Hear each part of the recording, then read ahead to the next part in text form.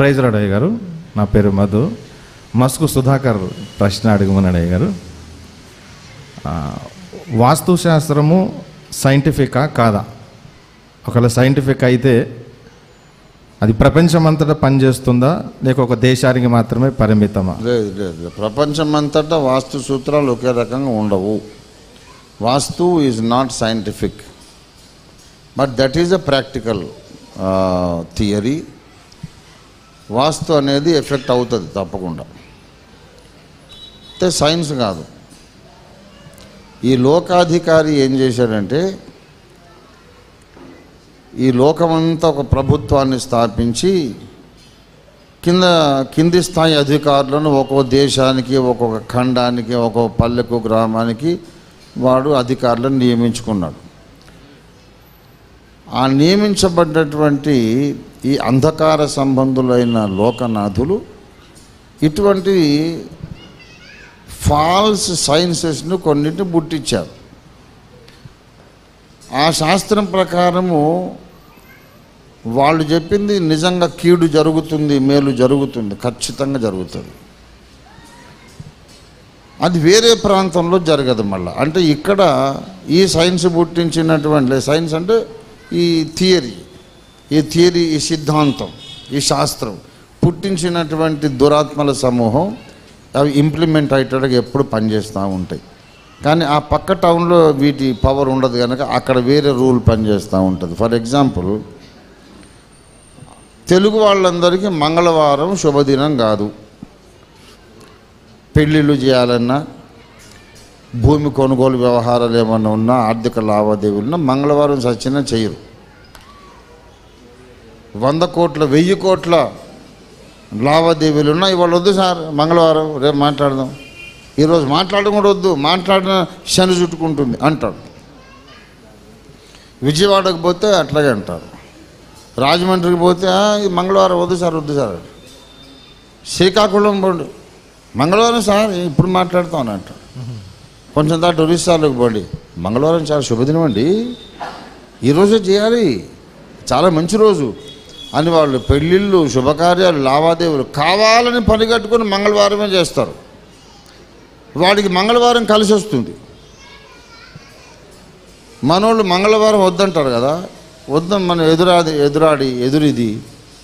మంగళవారమే మేము చేస్తామంటే నష్టాలు జరుగుతాయి. ఎందుకు? ఈ మంగ- మంగళవార సిద్ధాంతం పుట్టించినటువంటి పడిపోయిన దేవదూతలు ఉంటారు కదా? అరే మేము చెప్పిన సూత్రం ప్రకారం నడవలేదు కదా నీకు నష్టం చేస్తాం. వాళ్ళు ఏదో ఒకటి చేస్తారు. వాళ్ళు చేయగలరు. అయితే ఒరిస్సా మీద ఉన్నటువంటి అధికారులు వేరు. ఆ పడిపోయిన దేవదూతలు. వాళ్ళు మంగళవారమే శుభదినం అని కనిపెట్టి అక్కడ వాళ్ళకు ప్రచారం చేశారు. కనుక ఈ సూత్రము మంగళవారమే శుభం అనేది వాళ్ళు అక్కడ ప్రూవ్ చేస్తూ ఉంటారు. మరి ఇక్కడ పరిపాలిస్తున్న పడిపోయిన దేవదూతలు వేరు జర్మనీ వేరు కదా. అక్కడ ఇది ఎంత అసలు? అక్కడ వాడు వేరే సైన్స్ కనిపెట్టాడు. చైనాలో వేరే. ఒక్కొక్క ప్రాంతాన్ని పరిపాలించే పడిపోయిన దేవదూతల మీద ఆధారపడి ఒక్కో దేశంలో ఒక్కొక్క శాస్త్రం అలాగే తయారయ్యింది అందులో ఒకటి వాస్తు. ఇప్పుడు ఇండియాలోనే ఇద్దరు వాస్తు పండితులు ఎవరు కూడా ఒప్పుకోరు. ఒకటి చెప్పింది ఇంకోటి ఒప్పుకోరు కనుక వాస్తు అనేది ఒక దిక్కుమాలిన శాస్త్రం. అయితే వాస్తు విరుద్ధంగా పోయి చాలా దెబ్బతిన్నోళ్ళు చాలామంది ఉన్నారు. వాస్తు అది దేవుడు పెట్టింది కాదు. అయినా సరే వాస్తు పాటించకపోతే నష్టాలు జరుగుతాయి. ఎందుకంటే పడిపోయిన దేవదూతలు ఉన్నారుగా. ఎరా మేము పుట్టించినటువంటి శాస్త్రానికి విరుద్ధంగా చేస్తావా? నీ పెద్ద కొడుకు చచ్చిపోయేటట్టు నీకు యాక్సిడెంట్ అయ్యేటట్టు నువ్వే చచ్చేటట్టు మేము చేస్తాం. ఎందుకంటే ప్రజలందరికీ దీని మీద నమ్మకం కలగాలి. కాబట్టి నేను ఏం చెప్తానంటే వాస్తు అనేది మనం నమ్మకపోయినా దేశం నమ్ముతుంది కనుక మినిమం వాస్తు సూత్రాల ప్రకారం ఇల్లు కట్టడం మంచిది. నీకు నమ్మకం ఉందా లేదా అనేది వేరే సంగతి. ఒకటి మంచి రోజు అని పంతుళ్ళు చెబుతారు. మనకు మూడు వందల అరవై ఐదు మంచి రోజులే అని బైబిల్ చెబుతుంది. మనకు త్రీ సిక్స్టీ ఫైవ్ డేస్ మంచి రోజులే అయినప్పుడు ఆ పంతులు గారు చెప్పింది కూడా మనకు మంచి రోజు అవుతుంది కానీ చెడ్డ రోజు ఎందుకు అవుతుంది? అన్ని మంచి రోజులైనప్పుడు ఇది నువ్వు చెప్పింది కూడా మంచి రోజేగా.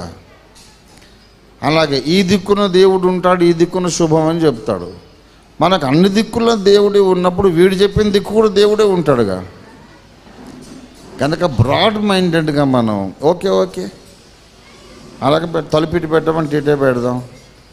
గాలి వెలుగు వచ్చేది చూసుకోవాలి.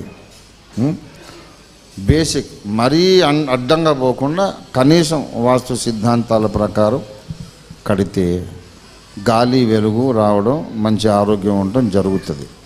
రేపు నీకు అవసరం ఉండి ఇల్లు అమ్ముకుందామంటే పది మంది ఎగబడి కొంటారు. నువ్వు వాస్తు విరుద్ధంగా కట్టావనుకో అమ్మబోతే అడవి కొనబోతే కొరివి అన్నట్టు అది ఎవడు కొనడు ఎవడు అమ్మడు. వాస్తు విరుద్ధంగా ఉన్న ఇల్లు అమ్ముడు పోవాలంటే రష్యా నుండి చైనా నుండి విప్లవకారులు వచ్చి కొన్నారు. వాడు ఎందుకు వచ్చి కొంటాడు? అసలే ధరలు మండిపోతున్నాయి వాడు అసలే కొనడు. కాబట్టి ప్రాక్టికల్గా ఆలోచించి దేశానికి ఆ నమ్మకం ఉంది మనకెందుకు గొడవని. అన్ని దిక్కుల్లో శుభమే ఉన్నప్పుడు వాడు చెప్పింది కూడా శుభమే. Come on letters go ahead అని బేసిక్ ప్రిన్సిపల్స్ ఆఫ్ వాస్తు ప్రకారం చే మరీ అతిగా మాత్రం పోవద్దు. మరీ అతిగా పోవద్దు. ఎందుకంటే వాస్తును దిక్కుమాల శాస్త్రం అని ఎందుకంటానంటే వాస్తు పండితుడే చిరిగిపోయిన పంచ కట్టుకొని మాస్క్ వేసుకొని ఉంటాడు. ఈ గుమ్మం ఇటు పెడితే ఇటు మెరక ఇటు పళ్ళం పెడితే లక్ష్మీదేవి ఇంటికి వస్తుంది అంట మరి నువ్వే ఆ గుమ్మాలు మార్చుకొని మీ ఇంటికి లక్ష్మిని తెచ్చుకోవచ్చు కదా? నువ్వెందుకై చిరిగిపోయిన అంగేసుకున్నావు అంటే పూర్వజన్మ పూర్వజన్మ సుకృతము దుష్కృతం పూర్వజన్మ ప్రారంభ ప్రారంభం లేని అంటాడు. మరి పూర్వజన్మ ఫలము అని అన్నప్పుడు మరి వాస్తవం చేయదుగా? నీకు పూర్వ కర్మ ఫలం బాగుంటే వాస్తు నీకేమీ చేయలేదు. పూర్వజన్మ కర్మ బాగోలేకపోతే నీకు అన్ని కీడే జరుగుతాయి. ఇప్పుడు కర్మ మీద ఆధారపడుందా వాస్తు మీద ఆధారపడుందా?